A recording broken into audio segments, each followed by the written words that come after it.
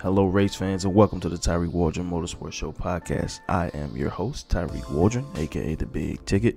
Uh, this is a podcast that covers all things motorsport, you know, ranging from NASCAR, uh, IndyCar, Formula One, WRC, you know, um, even the European Le Mans Series. Usually, what I tuned into that's past, the past race weekend, and uh, this episode today, the topics today, of course, we got our quick bites, just quick little drops and jewels uh, and gems, as well as, of course, the IndyCar coverage of Laguna Seca, um, a little bit about NASCAR and Bristol. Um, and of course, there's some other information that's added in there that I haven't really uh, specified. But as a reminder, you know, if you enjoyed this podcast, be sure to rate it five stars on wherever you stream podcasts. I'm available on all platforms. And also, if you are a person who likes video podcasts, you can head on over to uh, my YouTube uh, channel, which is the Tyree Waldron Motorsports Show, and uh, go ahead and hit subscribe. There, you'll be able to see me, my gestures, and all that good kind of stuff. Um, now, usually I would have like some capturing footage or stuff like that, but at this point in time, still just getting myself back in tune with uh, recording and all that good stuff. So, I still want to thank you for tuning in, and uh, let's dive into it, shall we? Um, first things first, of course, with the quick bites, I do have an idea that's brewing in my head, but I'm not 100% sure if I'm going to go through with it at this point in time. Reason I say that, um, well, I, I just don't know. I just don't know. Because uh, me personally, I don't wear a lot of Formula One merch. I don't wear a lot of merch in general. Um, I like my shirts plain and like my fits to be relatively plain, solid colors. But I have an idea in my mind. An F1 merch giveaway. Uh, my main target, of course, will be Aston Martin, um, as they have came back into F1 this year and uh, I know some people. You know, everybody likes Ferrari. Everybody is a is a fan of McLaren and stuff like that. But me personally, uh, at the beginning of this year, I really enjoyed um, Aston Martin's return, and I would love to be able to share that with uh, listeners and with viewers. Reason I say that simply is because, hey, I thank you for listening. I thank you for tuning in, and uh, I thank you for the support. I know sometimes uh, I'm not on schedule. I know sometimes that I've I've been turned away from recording and stuff like that. But hey, things are normalizing right now uh, for me, so I want to thank you. Uh, but like I said, it's still an idea just brewing in my head. Uh, I'm not 100% sure if I'm going to go through it. If you think I should, by all means, go in the comments below. Uh, not sh- exactly sure how to set it up, but I'm pretty sure I can figure that out in like five minutes. Um, moving away from that though, uh, DTM, Sophia Floersch, has finally uh, been rewarded her first DTM points in the series uh, at Assen. Um, she went from P19 to P9, which is obviously pretty impressive. That's 10 positions. But I believe there was some issue within the race that ended up dropping it down to 13 races altogether. So, hey, either way, that's still a, that's still a positive in my eyes. Um, excuse me. Um, now she's not someone who you know who who's lacking in experience. She's uh, competed in Formula Three, Formula Two. She's also I'm sorry, not Formula Two, Formula Four. Uh, she's also competed in um, you know the 24 hour Le Mans. So she's definitely someone who has a uh, reputation behind her. She's someone who has some credibility behind her as well. Um, don't get me wrong. I believe her highest position is seventh in. I'm not sure what series, but uh, and um, but she's definitely someone who has talent, someone who can showcase talent, and this is a great way for her to be rewarded for that uh, talent and for that um, ability to you know stay within the race and keep pushing, keep going. So, props to her. Um, I know she had a challenging few rounds, especially with uh, some technical difficulties too. So I'm glad that she's still learning. I'm glad that she's still able to figure out what the next moves are, next steps, and basically, and I mean, she's surrounded by two pretty much ex- very experienced people. Um, not only in Kevin Va- Kelvin van der Linde, but also in uh, Mike Rockenfeller. Or is it John Rockefeller? No, it's Mike Rockefeller. Yeah, Mike Rockefeller. You know, someone who has been, who's basically a DTM veteran.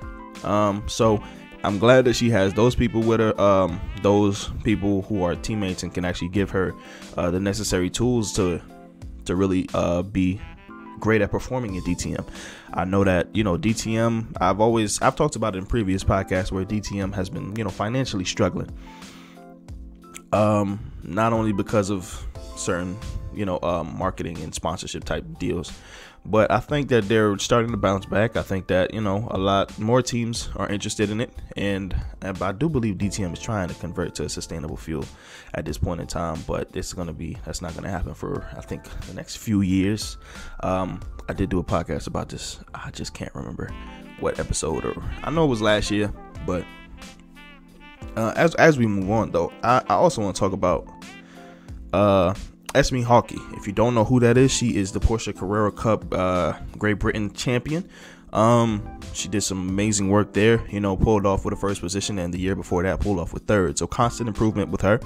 Um, she also raced in the W Series, and uh, she was definitely, um, definitely a, a, a great a great driver to watch, someone to tune into. I do believe you should tune into Esmee Hawkey and for sure Sophia Flores. Now, at this point in time, Sophia Flores has my attention because I never actually tuned into her before. But Esmee Hawkey has had my attention from since the Porsche Carrera Cup. From if we go back from since W's, not W Series, sorry. Um, if you go back to the Porsche Carrera Cup of uh, what is it, 2019? Um, I believe that's where I actually uh, kind of tuned in. But I'm glad that she's uh, I'm glad that she's making her way in DTM, and she also received her first points. I'm pretty sure, um, and finished off with what I believe to be a P11, coming from P uh, coming from 20th on the starting grid and uh, finishing off in 11th. DTM scoring points are way different than you know Formula One and that kind of stuff. So impressive work by those two ladies. I do want to see them get successful in DTM, uh, you know, especially in this season and I guess in the next few seasons. There are some really, you know, uh, experienced people within that DTM field as of right now. Um, yes, there are some people who just started, there are some rookies in there, um, but DTM as a whole, in the realm that it's in right now, yes, they have some pretty experienced drivers in there. Um, so I hope these I hope these women learn what they got to, you know, uh, and and I hope that they get way more competitive, especially with the teammates and stuff that they have as well. I hope that they uh, learn everything they need to and can give these guys a run for their money. Um, where was I going with this? Oh, European Le Mans, uh, the four hour of Spa, the European Le Mans series. Um, the Iron Dames. Iron Dames pulled away with a P3 result, which is great, great work after a very impressive drive. I do want to say they manifested it and they came through and really got after it. Uh, I also want to, you know, really talk about the Iron Lynx team as well. Um, the Iron Lynx team is the Iron Dames as well as the, uh, I guess, the regular Iron Lynx team. Um, they had not only P1 but also P3 because of the Iron Dames. So a double podium for that team, and um, I'm glad that the Iron Dames were able to showcase that they can really drive. Um, not only that they're exceptionally uh, competitive in that field, but also that they're destined. They're destined for a P1. They're, you know what I'm saying? P3 is just the beginning. You know, they're destined for a P1 if they keep going at the rate that they're going. So by all means, good job. Um, I don't like really saying good job. Good work hands down, good work, impressive work. I love the way that y'all came through and the way that y'all, you guys, um, actually, you know, did what y'all had to do. Did what y'all had to do. I love the fact. I, lo- I love to see it shining. I love to see it shining. Um, another thing that I want to talk about, uh, is the hydrogen. Mm, what is it? It's the. I have it in my notes. Well, either way, Toyota has been working on their hydrogen car uh, to run in their racing series in the I forgot what it's called. But they have been working on a hydrogen powered car to run in the racing series. As of right now, it has been lower class. But they have said that it has come to a point where it had it is on par with, you know, standard internal uh, combustion engines. Now, not standard, but with the competitiveness. they've come they're they're now on par with the cars that they're racing against. Um, this is coming off of what I, I think their highest position was 12th. something of that nature. They were really bottom of the pack, uh, middle to bottom of the pack. So I'm not necessarily sure how they're still competitive in their latest in their latest run. I'm not really sure how they were still competitive because they were 12th to bottom of the pack, I believe. So by all means, hey, if you guys believe that you're going to be, you know, actually competitive, you gotta you gotta get the results too. You can't just say that you're competitive uh, and feel as though you're competitive because you've reached the horsepower parity. You need to provide the result. Horsepower is not where it's at all the time. Um, yes, you could match the horsepower, but can you match the speed? Can you match the quickness around the corners? Can you actually tackle, you know, certain stuff? You can match the horsepower, but can you match the acceleration? You know, like there's so much other stuff that I'm thinking about that I'm not necessarily sure that they have down just yet because, like I said, they're still fighting very low in the pack, and I'm not necessarily sure how. Um, I forgot the series. I forgot the series that they're a part of, but in that series they have like like a I think they have like group one, group two. They're called something else, but I'm gonna call them group one, group two. They go all the way up to five or six, I believe, like something like that. And these guys are technically supposed to be going up against group three and fours, but they're keeping up to par with group five. Uh, they're just barely edging away from group five. So I'm not sure. So I'm not sure if they're actually as competitive as they say they are. In my opinion, I don't think so. I think they need to spend more time really developing and showcasing what they can create. Um, a lot of the times, people, you know, it takes time to develop a car that's going to be competitive, something that's going to be worthy of being competition, something that's going to actually be competition, it's going to take a minute. It's going to take a minute. And I understand that. So they don't necessarily have to rush on providing results or providing with uh, parity with these, you know, um, petrol cars. They don't have to do that. They don't have to do that, in my opinion. I think that they can keep it quiet, maybe give out a few results here and there, maybe showcase a little bit of testing, but they don't really have to um, put out any news until they believe that they can be at the front of the pack until they believe that they can actually compete at the level that they want to. You know what I'm saying? Um, that's another thing with like uh that brings me to like the 9x8 of Peugeot. I don't know if you guys are going to be competitive right out the gate. Granted, obviously they might be, you know, they might be right out the gate, but I don't think that they're going to be as competitive as they believe right out the gate. Yeah, they're going to be faster than the rest of the field, but are they going to be fast in their, you know, specific class? Um, not necessarily sure, especially with that, with the no wing concept and all that kind of stuff. Not sure, but hey, it's Peugeot.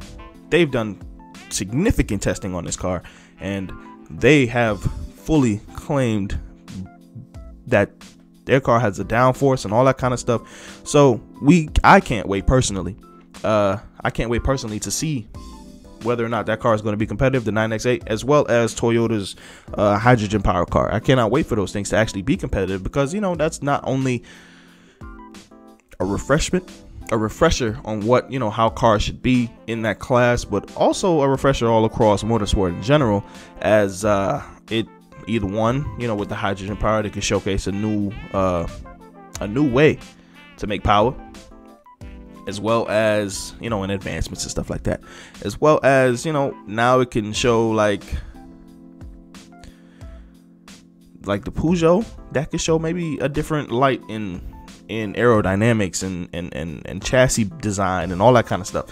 But that's up to what the teams do that's up to how they evolve and and and how well they perform because you do have to perform well in order for people to follow in line with the things that you create you have to perform well. That's the only way for it to work. Um, so, by all means, I hope that they do well.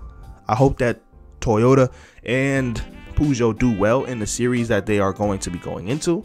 I'm not sure if that's going to be next year or whatever. Toyota has been racing this year, but like I said, they're back of the pack. So I'm not sure if they're, you know, in the competitive space that they want to be, but I hope that they continue to grow. I hope that they continue to shine and get to that point in time. Moving away from that, the Schumacher documentary is out.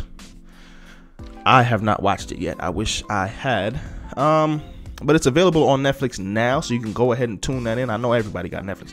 Everybody gotta have Netflix. And if you don't, you know somebody that do. So by all means, I think I think all, especially all F1 fans, uh, and all people who are fans of uh, Michael Schumacher should or Schumacher. How I say his name is Schumacher. All right, should check into this. Um, I personally, I know I have to watch. Okay, it's it's, it's about an hour and what, 55 minutes, a two hour runtime, and um, you know, definitely something that we could all just tune into and sit down and watch. Um, I'm pretty sure there's already been a ton of people who have watched. Um, me myself personally, I gotta find the time, but I'm gonna find it, and I'm gonna be able to talk about it in the next podcast episode. uh, but you know, there's exclusive interviews, you know, archive footage that nobody else has, and you know, and it's it's all about the legend. You know, it's all about his greatness. It's all about you know the people who he's not not only inspired, also grew up to be um, racers now. You know, with Mick Schumacher and uh, David Schumacher, I believe is his son, who's still in what Formula Two or Formula Three. So he's he's he's coming up. Like not well, no, not he's coming up, but he's created future legends. You know, he's created future people who can maybe come in and really do uh, some great work uh, within the sport. So definitely something to check out. For real, check it out. Um, I, I, I will be checking it out as well. So next thing I want to talk about, Girls on Track UK. What an initiative! You know what I'm saying? What an initiative, pushing for equality.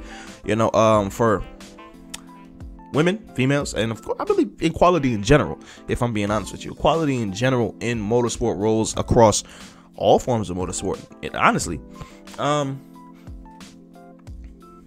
they had an event. I believe. Well, there was a webinar. I know that for sure. Um, I wasn't able to tune in. I wasn't able to register and tune in, but that sucks because I really wish I was. I really do wish I was. But there was a collaboration with Codemasters that allowed these uh, allowed these young women to experience some motorsport based activities uh, and definitely dive into the virtual world of motorsport as well. Um, there was definitely a whole lot of sim racing stuff, um, some technical aspects, and and they got to meet with some current people who's in the racing environment. You know, like they got to meet with uh Jesus, uh Rosanna Tennant, who's a broadcaster, journalist, and commentator. Uh for I'm not sure if it's a W series, but hey, all in all, she's someone who has been who's on that side of it, you know, on the broadcasting, on the commentating, on the journalistic side of motorsport. But they also got to meet drivers like uh, Jamie Chadwick, who's in the W series right now, fighting for that championship.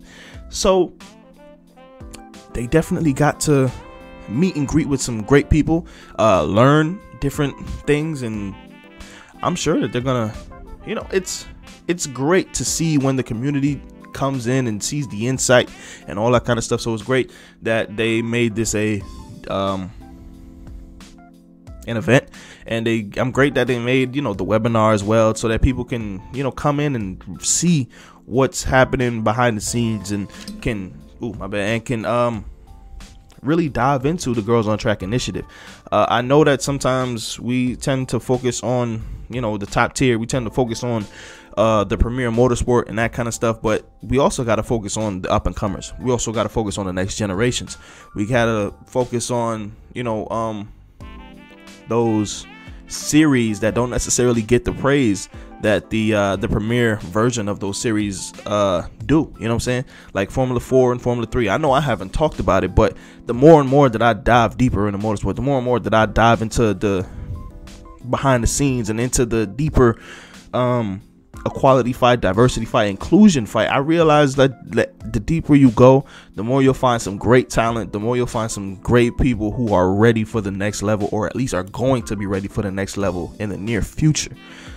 Um, so, hey, the Girls on Track UK initiative, by all means, keep doing what you're doing and uh, keep that fight going. Keep that fight going. I, I, I think we're gonna have a future um future hey future female F1 champion, and I think that's that'll that's probably very soon too. So by all means, keep doing what you're doing and um, keep inspiring. Definitely inspiration for a ton of people across the world. Um, as I move forward, NASCAR, Bristol. I'll be honest, I I didn't really tune in greatly to this. Um, the more and more that I try to dive into NASCAR, the more and more that I keep getting confused. Um, now, personally, I've I've I enjoy NASCAR. Don't get I I actually enjoy it. I enjoy the experiences. I enjoy you know watching the race and all that kind of stuff. But sometimes I'll be confused um, with like stages. They got a regular season champion, then they got a playoff. Um, the points stuff is a little different than how it's supposed to be. Uh, it's I gotta dive way deeper, and I have to really sit down, take my time, and understand NASCAR. But aside from that, Bristol, Kyle Larson, with his Bristol victory, he comes away with six wins, six wins of the season. Um, he was the regular season champion, uh, five wins in that, and um, of course, this is what the round of 16 in playoffs that he just completed. Um, so props to him. You know, he's the NASCAR Cup Series regular season champion. Um, one thing I want to highlight, of course, that I'm pretty sure was highlighted across all NASCAR coverage was Chase Elliott versus Harvick uh, situation that really kind of catapulted um, catapulted Larson into the victory. They had some heated discussions and stuff like that within pit lane. Um, when I say highlight, I don't necessarily mean that I'm going to talk about it like extensively. It's just something that I wanted to point out that kind of shaped the way for how things happen in this race. Um, those two really had an altercation earlier on within the race, and uh, Chase Elliott was still upset about it, so he over defended um, against Harvick and did not let him pass, which in turn um, gave Kyle Larson the necessary space that he needed in order to come through and steal the win away from Harvick. Now, you know, um, it was still awesome action to see, in, in my opinion it was still awesome action to see because you got to see two two two drivers go head to head. You got to see two people go go at it. And at the end of the race, it was still a close battle. You know, um, I believe Kyle Larson won by what four four hundredths of a second, four tenths of a second, something of that nature. I'm pretty sure it was it was a, it was it was a very very very very close race. Um, but in all, Kyle Larson pulled away with the victory. Now Bristol at least is a very is a relatively exciting uh, event. And I think some someone asked the question if Bristol should be like the like where they have that last race, the last title championship. Um, by all means, I think Bristol is is is decent, is is a decent um alternative, but I don't necessarily know if that's the way that y'all want to go. Because in my personal experience, I would say no. Um, and another thing, the 2022 uh, NASCAR season calendar has been released. Uh, at least I'm not sure if it's the official or the provisional. I'm pretty sure it's the official, but that has been released. They are, you know, really showcasing what they're going to be having next year. So by all means, tune into that. I did not bring that down. I was focused on IndyCar mainly, um, but tune into that. And uh, Denny Hamlin, someone who I personally think uh, should get the victory. That's just how I feel because I do. I am a nice little fan of Denny Hamlin. Um, he had some impressive moves. He, he had some. He has some good work. I'm not sure if he won two of the three stages, um, or if he won one. I'm pretty sure he won one of those stages, but he was leading for an assortment of laps. Um, and of course, he also was really going after it. And uh, I believe he was going after it for first against, I'm not 100% sure who he's going against, but he ended up getting some vehicle damage and had to pull off. And from there, I think he finished off in 11th. But was it 11th or 9th? I think it was 9th. But he didn't move forward uh, into the next playoff round. So, Denny, keep it together um, and uh, go after that victory, man. Don't get too cocky. Don't get too brazen with uh, the fighting and all that stuff. I want to see you succeed. You know, Denny Hamlin. That's how I kind of got interested in um, NASCAR in the first place. So by all means, man, go out there, get that W. Um, any fans of Denny, let me know. Uh, I might do. Uh, I might even think about a giveaway with with that. I don't know. You know, um, NASCAR, of course, is not my main focus, but hey, I might. Um, as we dive deeper. Not, not actually, no, we're not diving deeper. As we continue on, as we continue on, IndyCar, their 2022 season has been released. Um, I mean, we could run down the line. Uh, starts off with St. Ooh, starts off with the streets of St. Pe- Saint St. Petersburg. Jeez. Um, their actually their season actually starts in February, February 27th. Streets of St. Petersburg. Um, they're finishing off with the uh with Laguna Seca, but I could dive into it. You know, so St. Petersburg, uh, Texas Motor Speedway. Then uh, April 10th, the third race, third round brings us to streets of Long Beach. Um, then for May, it's Barber Motorsport Park, Indianapolis, of course, the uh, the road course, and then there's the Indianapolis 500.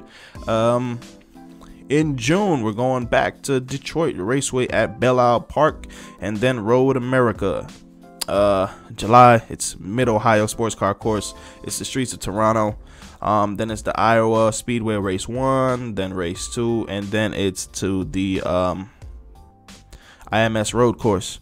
Um, August brings us to Nashville and uh, Worldwide Technology Raceway, and then September brings us to Portland.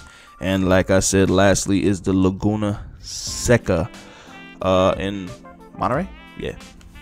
Uh, so you know that's the full season that they have, the full series schedule for 2022. Um, I'm okay with it. Doesn't really matter to me where they go. Uh, it doesn't really matter, in my opinion. As long as they're racing, as long as they're putting down the metal and going hard, don't matter. Uh, as we move forward, Jimmie Johnson. I'll be honest with you, that's a seven-time world champion in NASCAR. Um, I'm not 100% sure how the hell I didn't recognize this name. And because of those Carvana commercials with the uh, bedazzling it's funny. It's a funny commercial. It's a nice little commercial. I, I, I do enjoy when it comes on. Um, I think I mean I I don't really watch TV, but it comes on like the streaming services and stuff like that. So hey, I recognize the name now. I know who he is. But it was an exciting race at Laguna Seca. Um, one thing, you know, it was one great action. Okay, great overtakes, great defending, and a lot of guys going back and forth. A lot of guys going at it. Right that's one. But another thing that I actually want to highlight, you know, we know the star of the race. Yes, he is former F1, unfortunately. So I I mean, my bad. I do like Formula 1 um a lot. But Roman Grosjean impressive moves, impressive dive bombs throughout the race. You know, really driving the hell out of that car if I had to say it driving the hell out of that car and really putting down pedal to the metal. Um, you know, he's had what three podiums on this season. Uh, so wow, what a what a what what a what what a rookie year to start off with. You know what what a time to to to to be alive. Nah, let me stop. Um, what a what a way to come into the sport. What a way to bring in. You know, what a way to have fans um have your back. So by all means, good work, Roman. Um, or Romain. I, I say Roman. I'm just say the, the Americanized way. But he showcased skill and poise to go from P13 to P3. He equaled the um he had a race high 27 overtakes and I believe 17 of those or 15 of those was for position. Um and he equaled uh 10 position overtakes uh of going from P13 to P3 uh, with I believe Marcus Ericsson. Uh, if not Marcus Ericsson, then Josef Newgarden. One of those guys. He he, he they were on par with ten uh, spot overtakes from where they started to where they finished. Um, so by all means, good work, Roman. Um, you know now the season the season is closing to an end. We have Alex Palou who is in first. Um, and Pato O'Ward, who is in second, who believes that he is no longer in the championship fight because of his dreadful race at Laguna Seca. Don't get me wrong. If Alex Palou somehow did not race at all, and Pato was able to get, you know, the points that come from getting pole, passes lap, and wins the race, he could actually win the championship. Now, I know that's a pretty that's a it's pretty difficult to do. But as of right now, he's just mainly focused on giving it his all in uh, the final race at uh, Long Beach. So I feel as though, hey, great work. Thus, this great, great work thus far this year. Impressive season, impressive run. You know, you are going to be number two in the championship fight. Um, I don't think Josef Newgarden is going to close in on really much anything unless you have another dreadful race like you did in Monterey. Now, I know that Pato O'Ward is, you know, in my opinion, I think Pato O'Ward is the fan favorite. Um, across a lot of fans, you know. Um, and you can understand why. He was thrilling to watch. He was always on the, he was always on for action. He's always um, pushing. And uh, we've got to see that several races out this season and good work by him. So it's not it's not a race to be sad about. It's not a race. It's not a season to be sad about or upset about. Something to be proud of. Um, and of course, I think that he's going to come back harder and smarter next year. So by all means, he still has a chance. He still has a chance to win this race. Do I think that he's going to win? No, but he still has a chance to win this championship. Um, but anyway.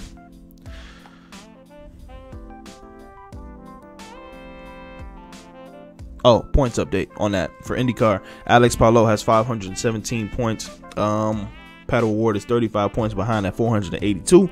And then Josef Newgarden, who is 48 points behind Alex Palou, but 13 points behind Pato O'Ward. And um, I don't think that Newgarden really has a chance to fight for the championship.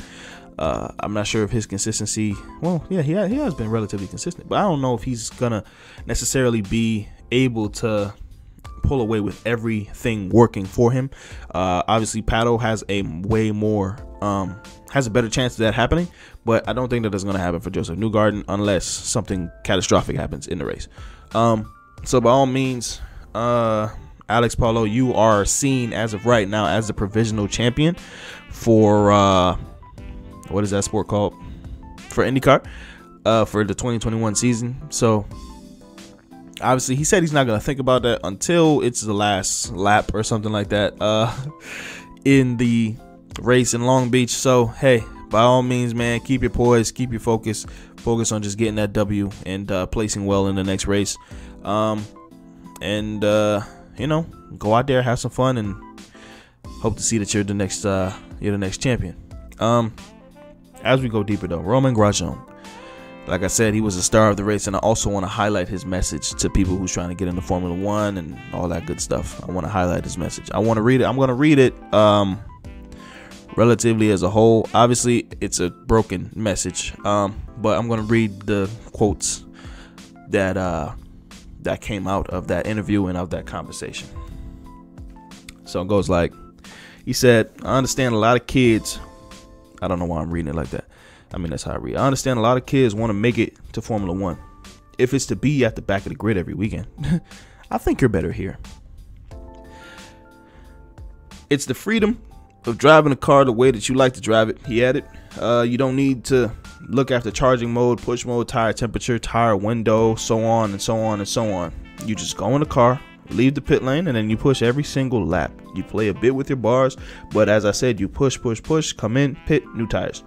The ability to enjoy every single lap that we do, uh, enjoy the fact that you can be competitive in any team, makes it that the oh shoot, whew, makes it that the atmosphere in the paddock obviously with the support of the fans, been just a whole package that I've enjoyed a lot.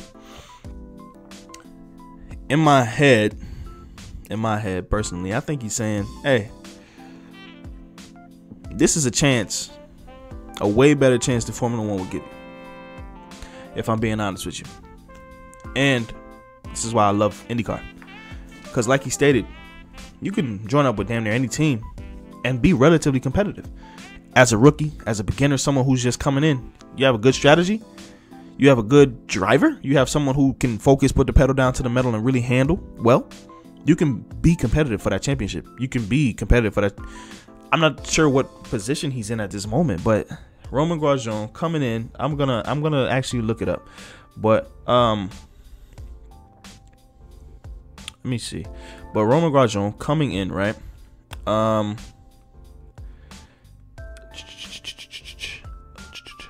Let me look at where he's at real quick.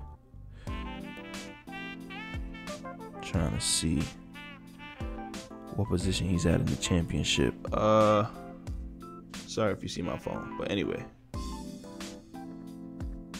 Huh. 15th? Is he 15th in the championship? Yeah, I think he is 15 in the championship. Either way, And that's because he didn't race in some of those races as well. One, and he's two, he's a rookie. If you think about it. But anyway, like I was saying, he was basically saying that when you come into F1, when you go into F1, yes, there are more things that you have to deal with and all that kind of stuff. But also, as we can see in someone like Mick Schumacher, as we can see in like uh usually any rookie that's coming in to those sports, you we we, we can see when they come in, they end up in the back of the field type of pack, type of team.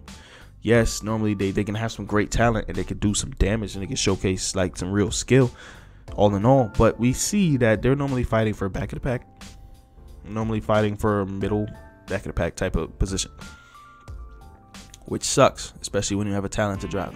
An IndyCar though, it don't really matter who you are, race after race, you can go after it. You can get in there and actually fight for top positions. You can actually, you know, be rewarded for having that skill, rewarded for having a good strategy. Uh, whereas in Formula One, I've kind of dabbled in saying this before. Formula One is is is is a little bit pay to win, kinda. You know what I'm saying? Um, whereas IndyCar, not that same atmosphere. So I love the message that he's giving to those people who are trying to make their way into Formula One. Obviously, everybody wants to make it into Formula One, and they want to be the next uh, drivers champion. But IndyCar is a great way to go. You know, it's and I mean, with all these exceptional drivers who are going to be bringing in fans from other places as well, I think that not only are you going to be a star in the sport, but you're also going to grow the sport as a whole. So, by all means, I think as though IndyCar is a great place for people to go. Uh, especially you know like the Formula Two drivers, Formula Three drivers. I think IndyCar might be a great place for them to go. Um, don't get me wrong, go after the goal that you want to go after, but I think IndyCar would be a great way for you to actually come into a new racing series and possibly be a damn champion in your first season. You know, um, you know now with the way Formula One is set up, it's a little pay to win. You gotta have the monies, you gotta have the funding to to really go into the R and D's and and a lot of the times, some teams don't have that, or a lot of times the teams that will pick you or will sign you on don't necessarily have that that that what you're trying to attain. You know, they don't have uh, the necessary backing for what you want, and which is to fight for a championship. In IndyCar, don't really matter what team you're on. You go out there, you push, you get a good strategy going, and boom, you just might find yourself in that winner circle. Simple as that that's all I got for this episode. That's all I got for today, this week. Um, I want to thank you for tuning in. I want to thank you for listening in. Like I said, I am thinking about that giveaway with the Aston Martin merch. Probably going to be a polo and a, and a cap. Um, just something. I myself personally don't really wear a lot of Formula One merch or racing merch in general. Um, I do plan on doing so because, I mean, I plan on racing again. Um, but not in Formula One or nothing like that, but I plan on wearing like race type merch. Uh, maybe not in videos and stuff like that, but on a regular basis. Now, like I said, this is for this episode. I want to thank you for tuning in. I want to thank you for listening. If you enjoyed this episode, or if you feel as though you know, like the giveaway is a good idea, if you feel as though that you you you want to share this information with your peoples, rate the show five stars on wherever you choose to listen to podcasts. You know, I'm available on all streaming platforms. And if you like video versions of podcasts, you could head on over to YouTube. Um, to my YouTube channel at Tarig Waldron Motorsport Show. I did forget the name of it for a second. And uh, definitely tune in. Um, hit that subscribe button. You know, hit that like button. Share it with your peoples.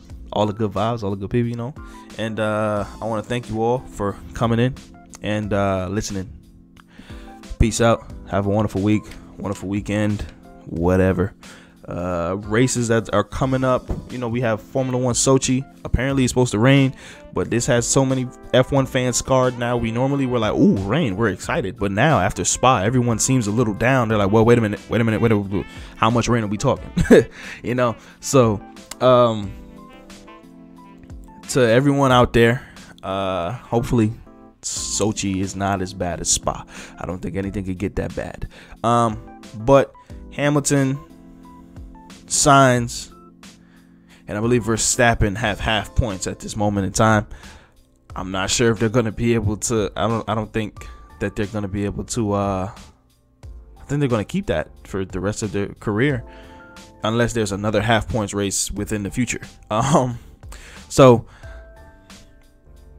good luck to them. Good luck to all the races. Good luck to all the races out there. Um, and it's Sochi. I'm not sure who performs well at Sochi or Russia. I believe Mazepin is Russian, so I'm not sure if he's gonna have a fan support or like that. Who knows? He might, but I mean, hey, he's still gonna be fighting for back of the pack type of thing. Um, but either way, not really worried about that. Um, I want to thank you for tuning in. Thank you for listening. Obviously, there's going to be races coming up this season, this weekend. Um, the San, the what was it? The Misano? Was it? San, yeah, I think it was the Misano MotoGP race that also occurred. Uh, MotoGP, not race testing. Um, I believe Aleix Espargaro came out on top of that with came out on top with that testing. I gotta dive into it more. I'll talk about it next week. I want to thank you for tuning in as always. I love you. Peace.